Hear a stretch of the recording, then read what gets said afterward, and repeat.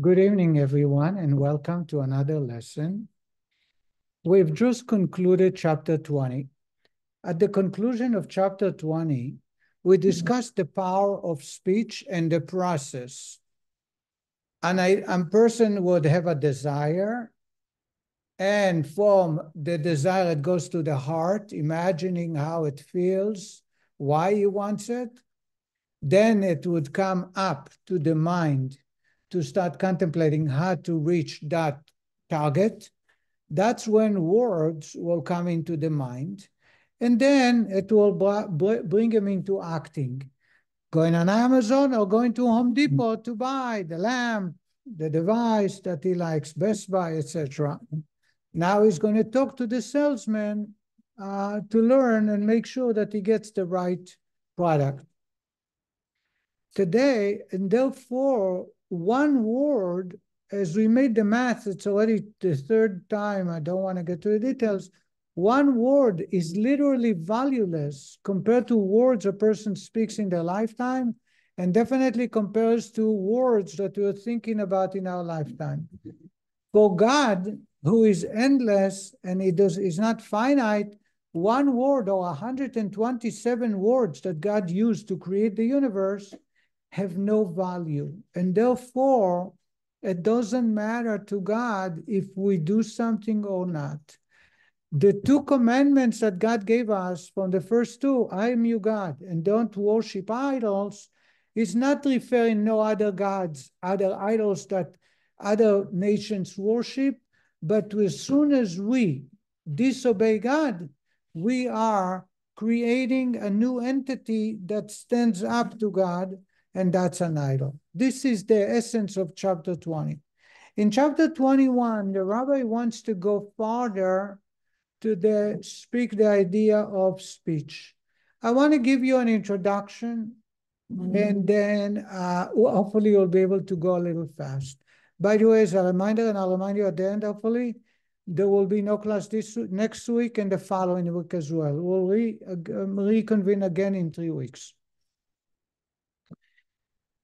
everything God created in this universe, every trait, every benefit, every talent has two sides. There is a benefit and uh, there is a deficiency. There is no such thing as perfect good. People with too much money, their life get destroyed. I showed you to numerous times that people who won the lottery, 94% of them had destroyed their life. Either they got addicted, they got divorced, they got murdered, children murdered them to get their money.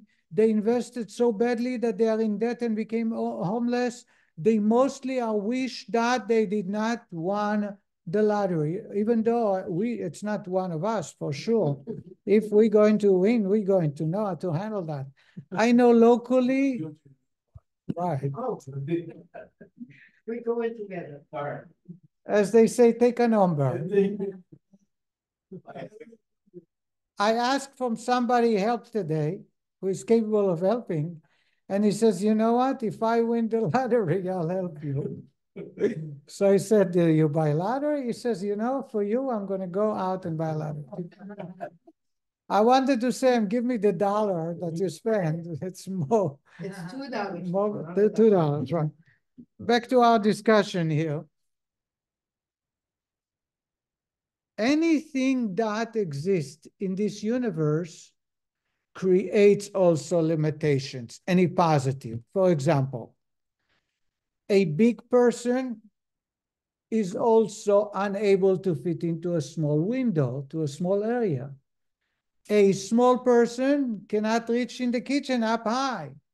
A smart man, wise man, uh, is unable to be walking simply and take people's word because he needs to contemplate and dig deeper. What do they mean? Did they mean this way? Did they say that way? Are they really mean it?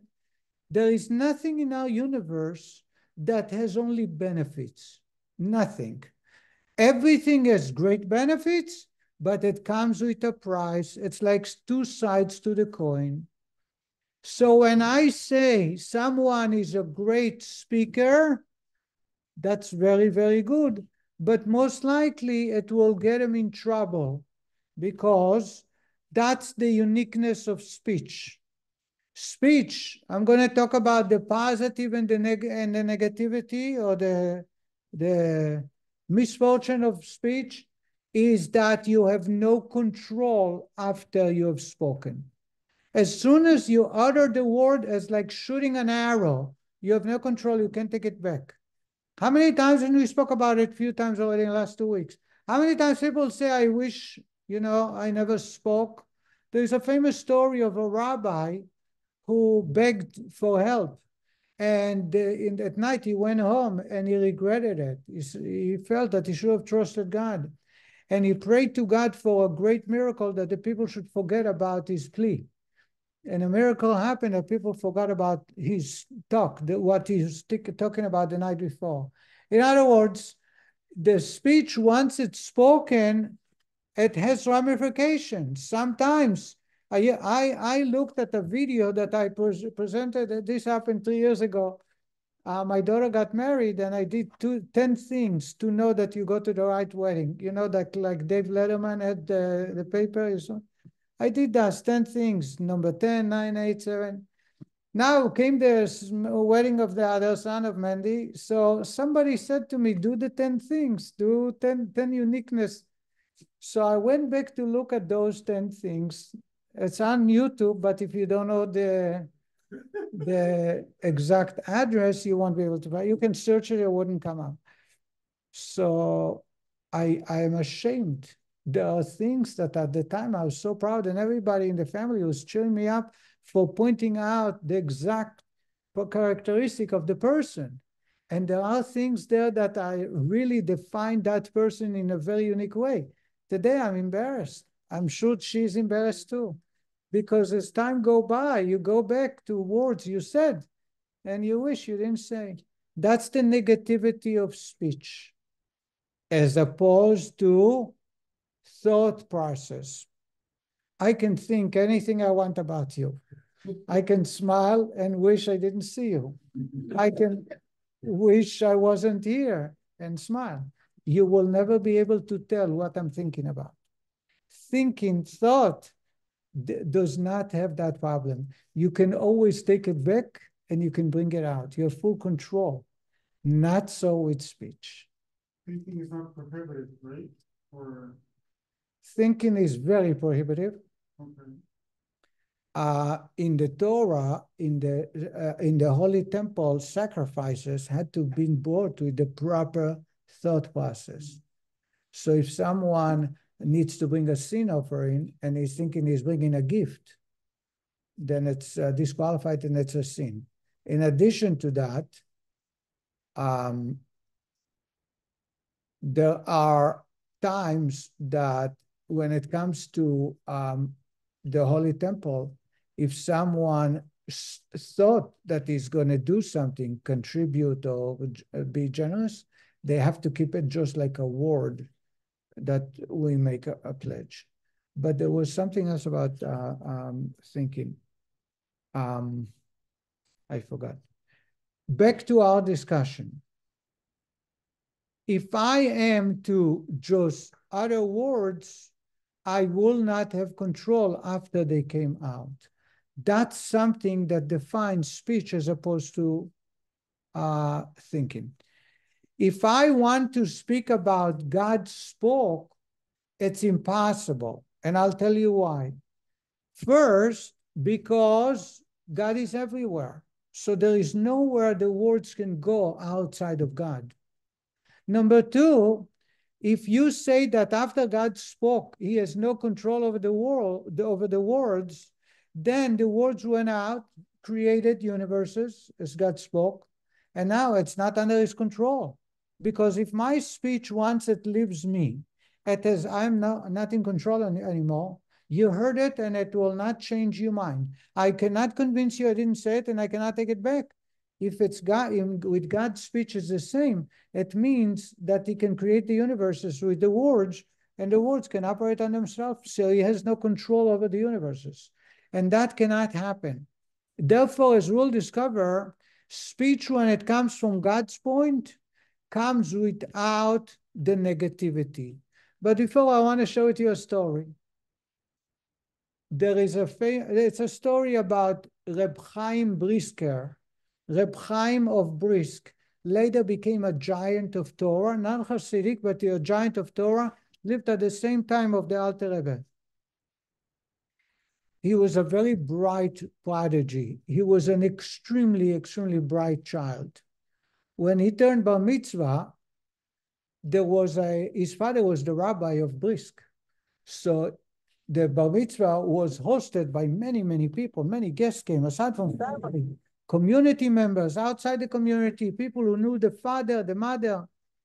And the child, he was 13, turned to his father and says, Dad, why are all these guests here?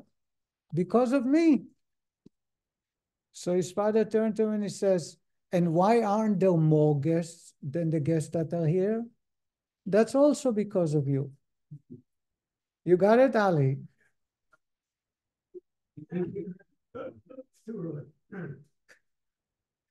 In other words, yeah, this child has brought many guests to the bar mitzvah, but this child is also the reason that other people the rabbi knew didn't show up because they had no relationship.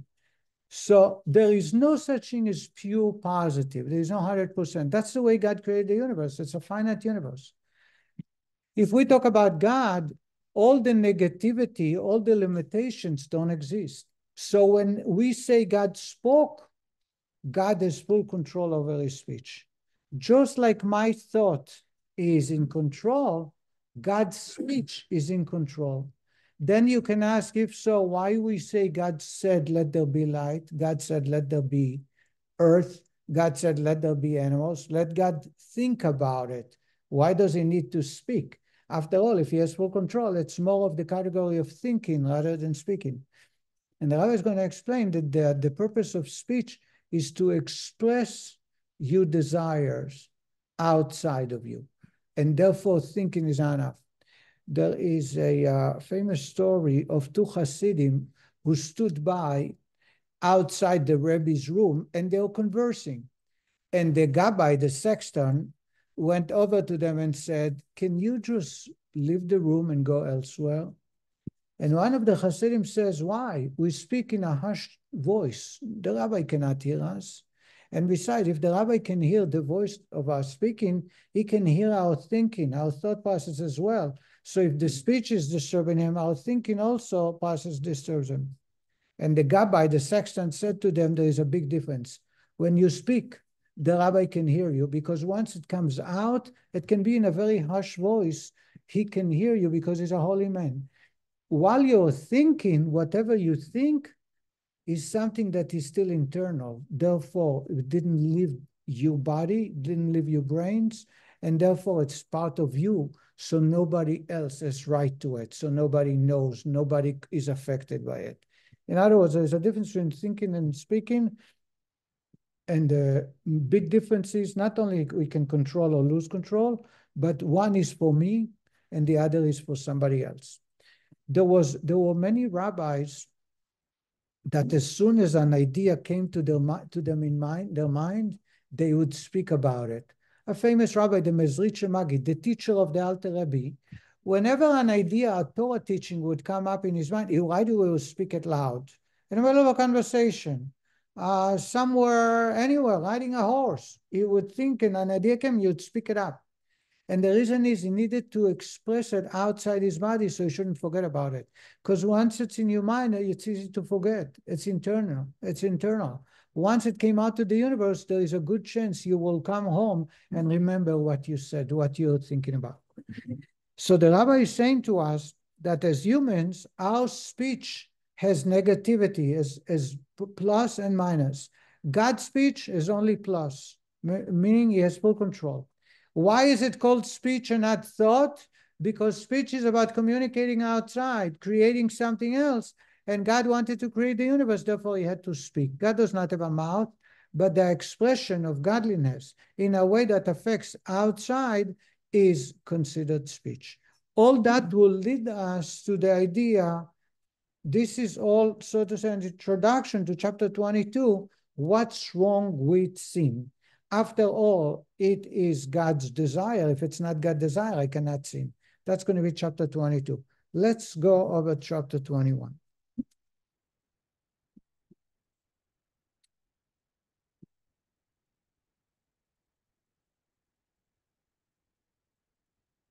We are starting on page 288.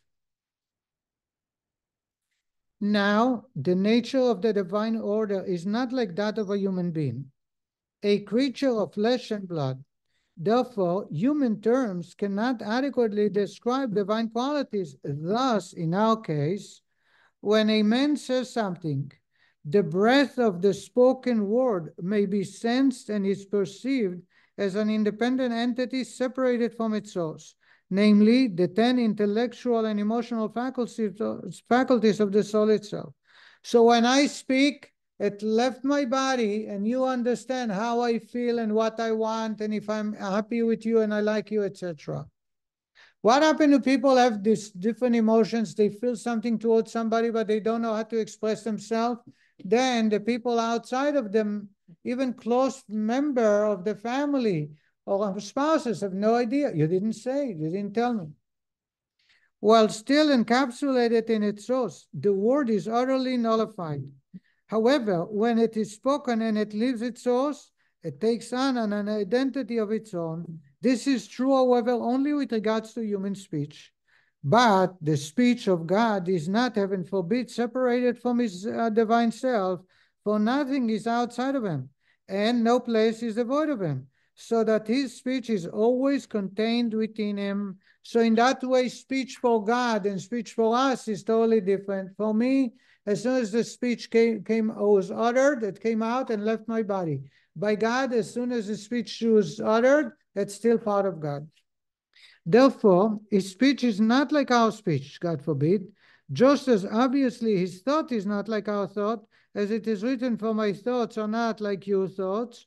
And it is also written, So are my ways higher than your ways, and my thoughts higher than your thoughts. Similarly, God's speech is different from human speech. But if divine speech is indeed never separated from God, how can it be described as speech at all?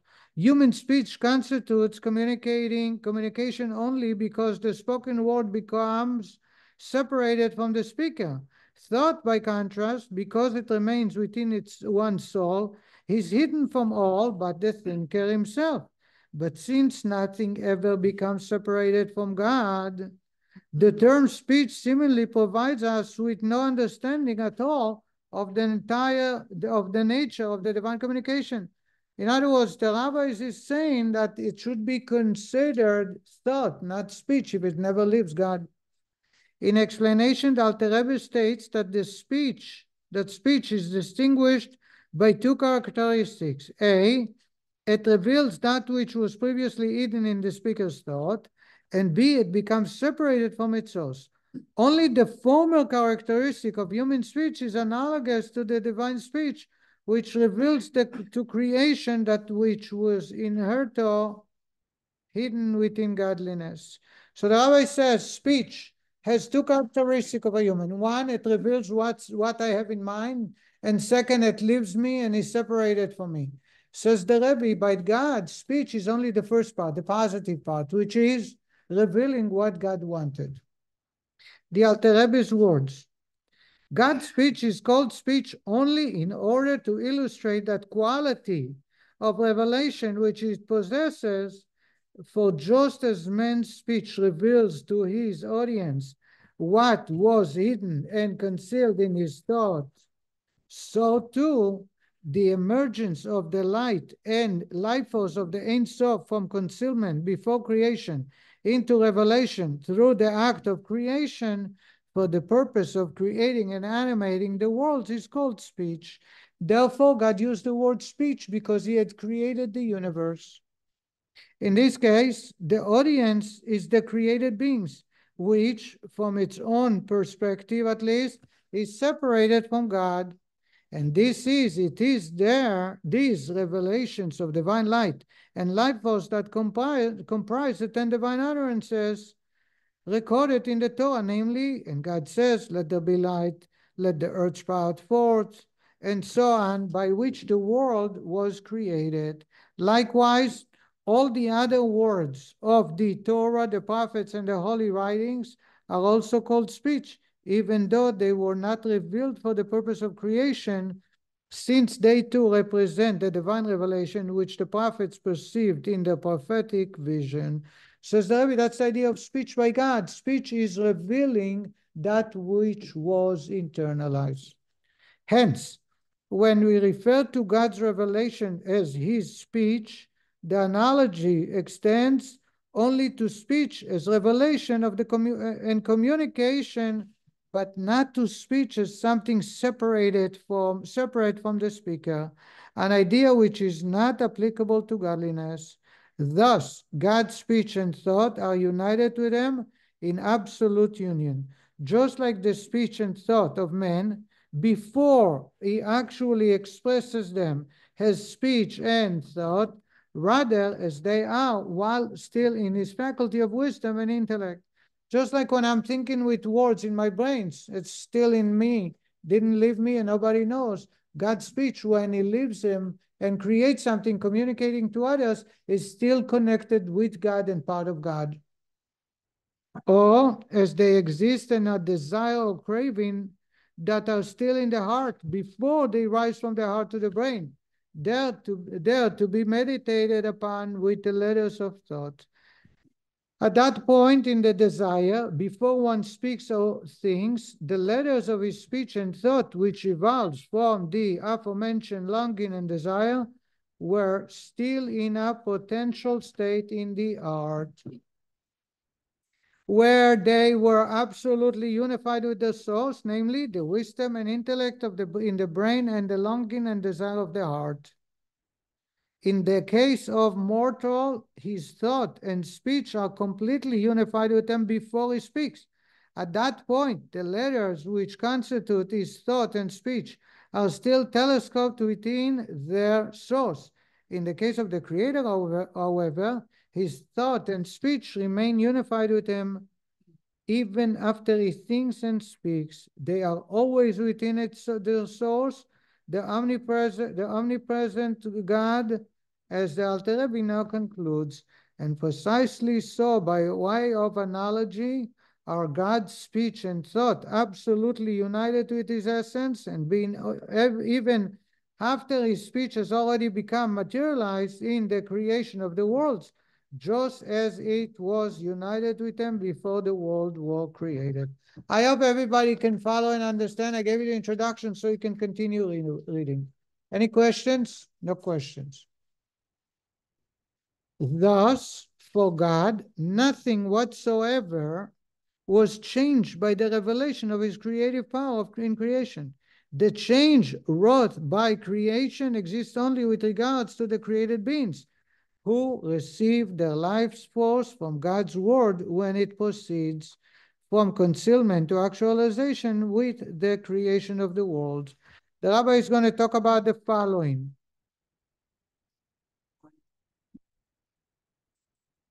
Because there are four universes, there are four worlds. In general, there are four worlds. You probably skip the first four or five chapters of Tanya. We study about four worlds. The rabbi is going to talk about an idea that to me is obvious and I don't think we need to elaborate. Imagine you're a teacher at uh, first grade, or I'm sorry, you're earlier, four years old, and you need to teach them one plus one is two. So you take two, two candies, two lollipops, and you say, here is a lollipop, and here is a lollipop. How many lollipops I have in my hand? The children will answer what? Two, right? Do they understand the math of one plus one is two? Yeah. Bob, is that correct that they don't understand? Why don't they understand? They weren't, they weren't taught the idea that one plus one is two. They just thought that there's two lollipops. Very good. So when I explain a difficult stu uh, student with a parable or a story and they get the parable, does it mean that they understand the point I shared with them? Not necessarily. when I share with you a point and I say to you, I share that with you completely, and I ask you, did you understand? And you answer yes. Is it possible that my understanding is far deeper than you understand when you learn it for the first time? Yeah. It's possible. I'm more than sure that, yeah. So the idea, the idea is one, it's the same idea. The child knows that there are two candies because the teacher took out from the drawer one lollipop and then another lollipop. So now he has two. I, the teacher, know that one plus one is math. It's a simple math, makes it two. We both know that there are two candies here. My understanding of the two candies is different than the child. When I give you a parable to explain a point, I am sharing your understanding of the point might be totally, even though you understand fully the parable and you understand what the point I'm trying, but that point is totally different for the teacher because the teacher has discovered much deeper aspects of that idea. Is that clear? So here is an example. When I, in Hebrew, nobody speaks uh, fluent Hebrew here. If I say enli koach, anybody knows what enli koach is? In Yiddish, we say Chobnishken koyach. What does it mean? Huh? Really? That's something new. Nishken koyach means I have no energy. But it's a metaphor. And I'm going to ask you, how many interpretation can you find to someone answering you, I have no energy? So let's start. I ask my child, can you go home and pick up my keys? Or can I ask you a favor? And he says, I have no energy. What does it mean to say? I don't want to do it. When I ask you, would you like to study? And you say, I have no energy. What does that mean? I don't know. Huh? Not interested, right? Generally, it's not interested. In relationship, I have no energy, it's totally different. I have a headache. Huh? I have a headache. I didn't say that. I didn't say that. I say I have no energy. If someone says to me, let's go and visit mom, and I say I have no energy, No. what does that mean? Ah, it doesn't mean that I'm tired. It Doesn't mean I have no energy. It means I'm not. I'm not interested. But there, I'm not in. There, I am not interested. Is totally different from one scenario to another, between parents and children, between spouses, between teacher and so. If if I ask someone, did you understand what I just said? And he says, I have no energy. What does that Doesn't mean? make sense. Huh? That doesn't make sense. And I'm going to show with you something that mostly I use when you really want to, for lack of better words, get rid of somebody. You say, I have no koyach, you know, I have no energy. I'm, I'm drained. I'm drained. Meaning, can you live, can you give me some space, right? Can you give me, does it happen to anyone here or I'm the only one saying that? Ah, sometimes you, you say that, To- us actually have no energy. huh? Some of us actually have no energy. Really? So when someone says I have no energy, do they really have no energy? Sounds like- yeah. Most of the time, no, right? So when I say I have no energy to my child or to a friend or to a congregant or to an employee or, or to a, what if you get a sell, a call, uh, somebody is trying to sell you a copy machine? And I say I have no energy. Well, that's, a perfect sale point, you need coffee. Copy machine, not coffee. Copier. For coffee, God forbid, you should have no energy. The idea is that what I'm saying is, I want to disengage. That's, that's what it is. But the way you hear it, it depends on the situation. And you will hear it, in, it means totally different things based on the situation. In Yiddish, we, say, we, I, koyach. You never heard that, Harry? Koyach? Huh? Okay, so when I asked, you didn't. In Hebrew, my mother, all the time, she would say, en li koach, en li koach. She wouldn't even, uh, you know, whatever. Now we know when you say it, we should just go.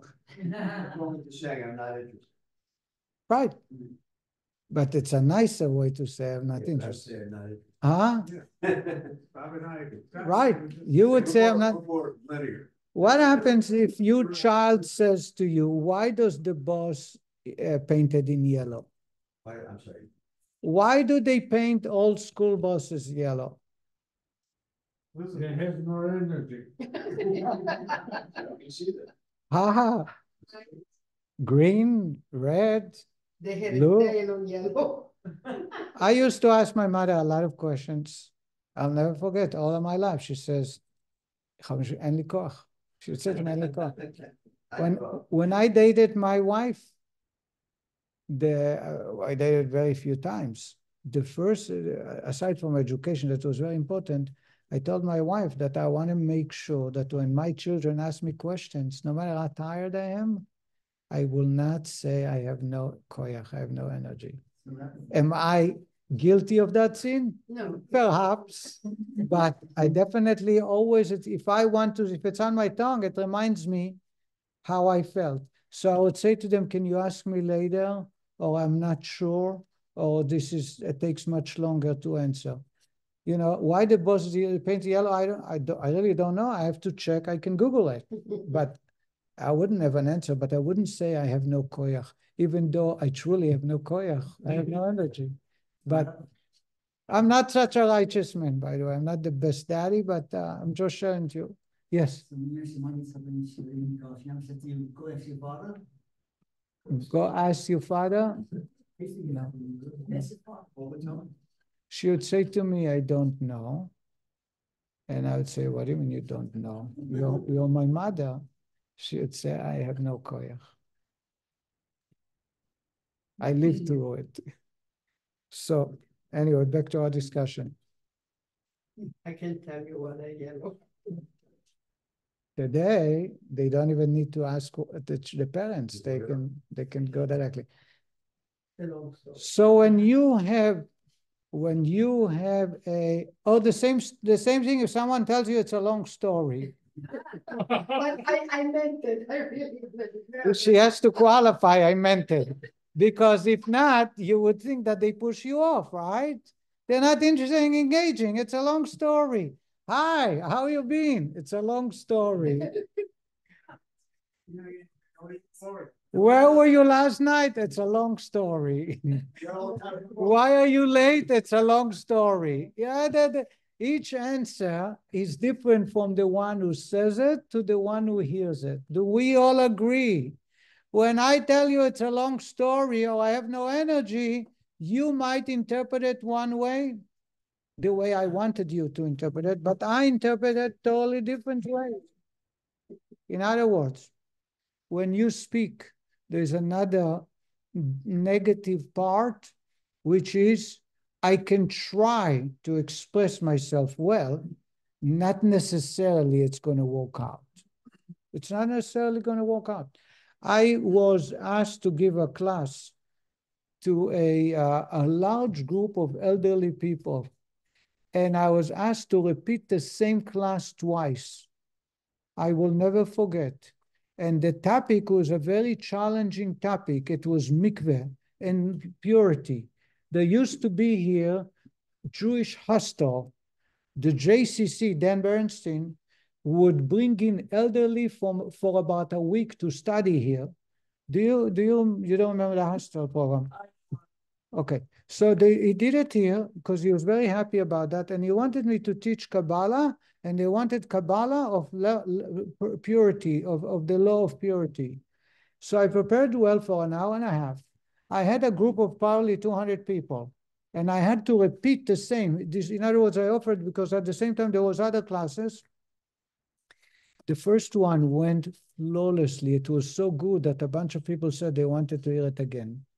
The second time around, it was such a shanda that they went to the organizers and say, this is, it's an embarrassment. It does not belong. It shouldn't be teaching. Were they right? Perhaps. I don't know. I wasn't, I wasn't tired. It didn't walk out. I, I, you never know. You know, you need some uh, mazel. You need some good luck. i didn't walk out. And it happened to me um, similar similar scenarios a few times. It's not the speech, the, the power of it's very powerful. It connects people, it shows how you feel, but it's not necessarily going to work out the way exactly the way you want. It's not, there is no uh, a guarantee to, and as I shared with you, things that you mean and you express because you mean it in a certain way will be perceived by the listener, by the recipients, uh, totally the opposite, that, that differently, and sometimes get offended, etc. How much more so when there is a barrier of different cultures? When you bring in Europe, Israel, or South America culture, there are words or phrases you say, and here they will be offensive, or over there they will be offensive. Says the Rebbe that by God, when God uses speech, it comes only with the positive and no negativity. So A, it never leaves God. He has full control over it. Therefore, it can come out perfect by me, once I spoke, it left. So you can interpret it differently. And therefore, you can get hurt, you can get upset, and, or you may not be able to understand fully what I want to say.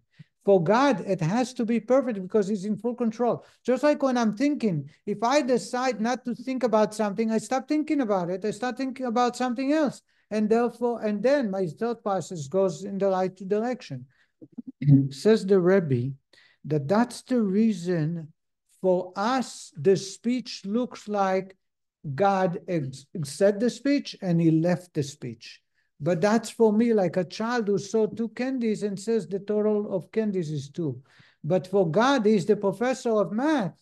For him, math, those two candies represent math of one plus one.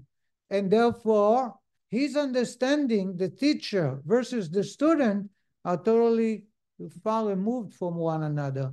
So we see God's speech as, as an entity for itself on its own, just like we know speech, but from God's perspective, it's totally different.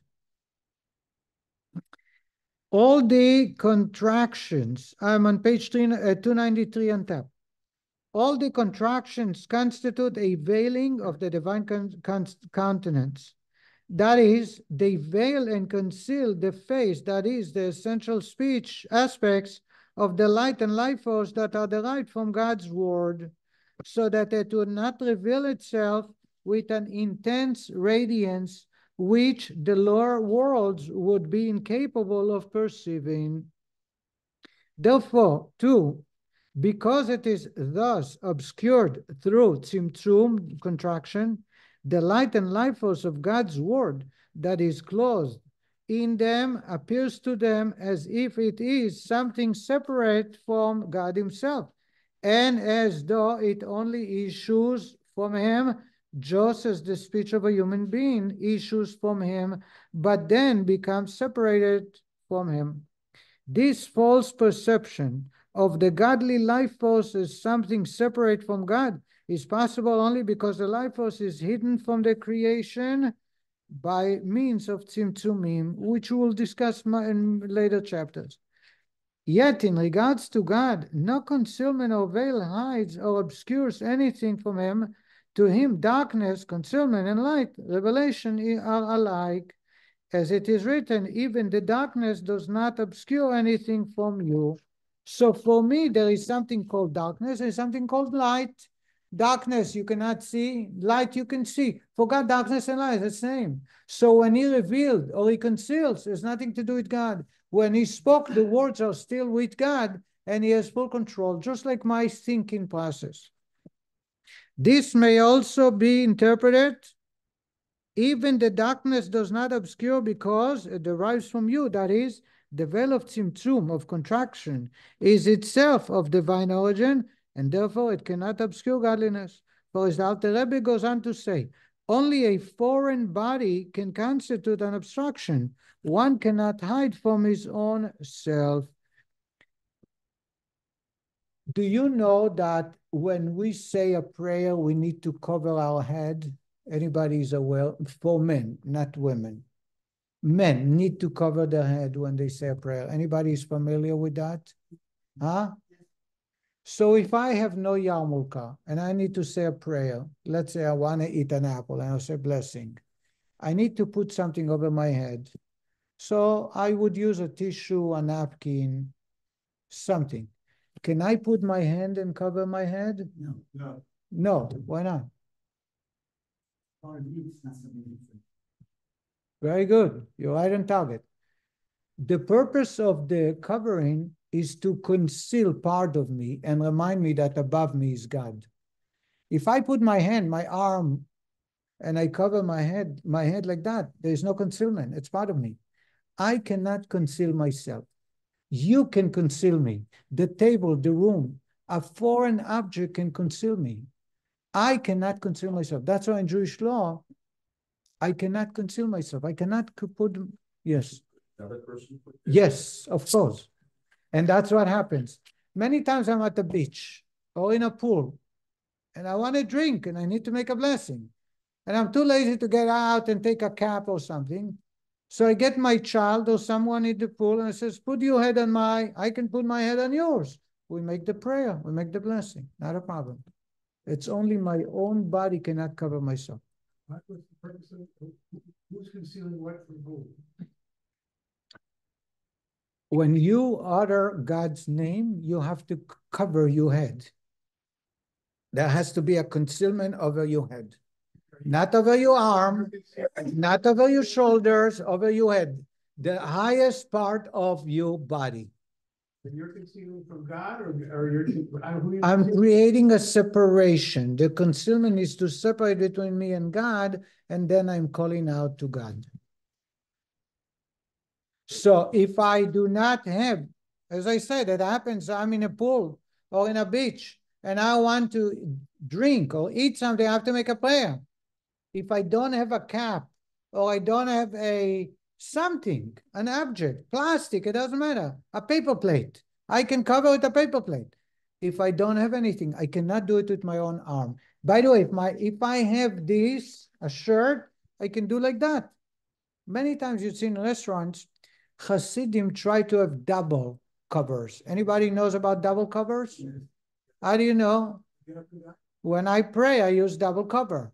When people pray, they put the talis over their head. It's a double cover. Hasidic Yamulkas would have a liner. Why do we have a liner? Double cover. That's why Kippa Sruga, the weaved Yamulka like Bob has, and like uh, Harry, is for someone who follow Hasidic teaching, follow Hasidic method, is unacceptable. Why? Huh? It's single. Why? Because there's no double layers. Exactly. So when. So just a minute. So for example, my father will not say God's name unless he has two covers, two covering. So whenever he goes to do grace after meal, he would put on a hat. The hat is too. Now I'm sitting at a at a restaurant many times. He, he always would take his hat, but let's say at the beach, when I was a child, he would take us to the beach, sit down. He would sit with a yarmulke because he wasn't going to the water. And then we had a watermelon, we had something, but my father wants to make a blessing. He would take the sleeve and put over his yarmulke. Now he has two covers, and that's that's enough. So with this, this is a good cover. This alone is not a cover. Why? I'm going back to our discussion because I want to finish the chapter.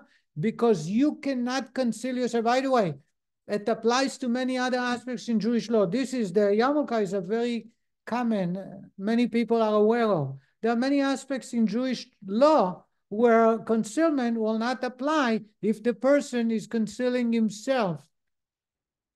Uh, there is another example, I, I, and I'm not going to address it with questions. Ah. Huh? Tachnun, no, you do that and it's okay. What I'm saying. Ah, you need what? No, you need to lower your hand. That's not about concealment. I don't think so, because sometimes you do. Actually, that's why they put the tefillin strap. You know that? You know that? Okay. I wanted to talk about another example. When a person enters a mikveh for whatever purpose, conversion, immersion after menstrual period, or before Shabbat, before Yom Kippur, the entire body has to be covered completely at the same time. You cannot dip yourself half and half. It has to be complete. So if I have a uh, stain or I have something that that's that is on my skin and I go to the mikveh, it's not kosher because not my entire body didn't. That's why the mikveh lady checks the the women before they immerse to the mikveh to make sure. Now the rule is that the body, the water have to come to that have to enter every part of the body, including my mouth. How is it possible? So, uh, how do you, what do we do? We shut our lips when we go to the mikveh, and the answer is because it's my own lips. They they are not concealing the rest of my body. The same is people with ear infections. Some people, for some people, that's a problem. If they immerse themselves in the water and the ear has no plugs, water will come into their ears and it's not good. So if you go to the mikveh and you put air plugs, it's it, you are blocking the water from entering your body. What do they do? They put the fingers if you put your fingers, your finger is not concealed, never serves concealment, and that serves it. So the fact that the water didn't enter deep into the ear tunnel is a technical reason, but there was no uh, obstruction or concealment to the body. I said I don't want to address questions to that to this topic. This may also, uh, I'm sorry, um, thus it is written, God, He is the Lord, as is explained elsewhere. This is a whole different. Let's see in the commentary what he explains very briefly. In Hebrew, the divine name Avaya, Yud K Vav K, He is Elohim. The four-letter name of God denotes divine revelation and transcendence, while the name Elohim refers to God's power of self-concealment by which he vests himself in creation. The quotation points out that they are one, Elohim, and does not act as a veil obscuring God by the other name. Thus, Elohim does not act as a veil obscuring God, since it is essentially one with Yud K Vav K, the power of revelation. There are two of God's names. Six. There are six known names to God. Two of them we use all the time: Elohim Bereshit bara Elokim. In the beginning, God created the word Elokim. And the word Avaya. Baruch ata Hashem Elokeinu, Havaya Elokeinu. Havaya is Yud K, Vav K, four letters, at numerical value of 26. Elokim, with a hey, not kuf, is the numerical value of 86. Nature, Hateva, the word nature in Hebrew is also 86. So Elohim is responsible for the system of the universe. Avaya is responsible for miracles. Anytime you we talk about miracles, we speak to the higher level of godliness, the second name.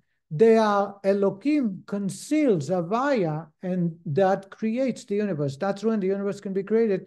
It's like a veil that stops the light from shining so brightly that nobody can benefit from it and therefore they are one, says the, the Torah tells us, Havaya and Elohim is one. In other words, concealment, self-concealment is no such thing. And therefore Elohim is part of Havaya and Havaya is part of Elohim.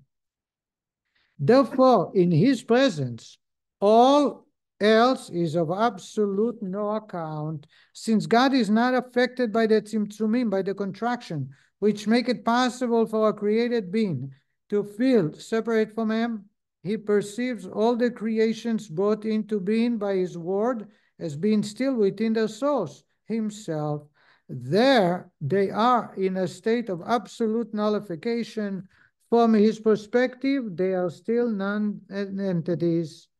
And the fact that their, of their creation in no way obstruct, detracts from his absolute unity. He is one alone after creation, just as he was before creation. So now we can address the question we asked two chapters ago. How can you say God is the same before the world was created and after? The answer is just like one thought in, of my mind, one word in my thinking process. Does it does it change my uh, existence? Does it change my entity? The answer is no. When God spoke the 127 words, the 10 utterances to create the universe, the words of God are in full is in full control. He controlled them even after they left him, just like thinking process. So for me, like the little child who sees candies, I know it's two, one plus two, but I don't understand the math. For God, so I see it as speech, revelation, creation, something that didn't exist before. But for God, from his perspective, nothing have changed before, after the universe was created. God is in full control of the universe there, and, and still it has no effect, no impact whatsoever on him. Next lesson, not next week, but in three weeks' time, we will go into the understanding of what happens when men sin. Why can we offend God if all is in God's speech? God still control everything with his speech. He continuously speaking. If he took word, if he took back some of the words, there will be nothing of existence. And we that would be the topic of our discussion. Thank you, Rabbi. Thank you very much.